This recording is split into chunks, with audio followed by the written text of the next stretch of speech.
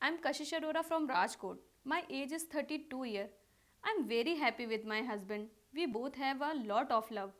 Then suddenly I started feeling unwell, due to which my complexion turned dark and my face is very scary. Dark circles had formed around my eyes. Day by day, I was becoming very weak and starting feeling ill. Then one day, my husband told me about Pandit B.K. Sandilyaji. And then we talked to Panditji on the phone itself. He listened to all our talk comfortably. Then he told that you are having an unfair. He is not letting you get well. Then he only started my treatment. He and my husband kept on doing as he said and they only after a few days I starting getting a lot of relief and now I am completely fine with the grace of Panditji. I am very thankful to Pandit VK Sandilyaji. Thank you so much.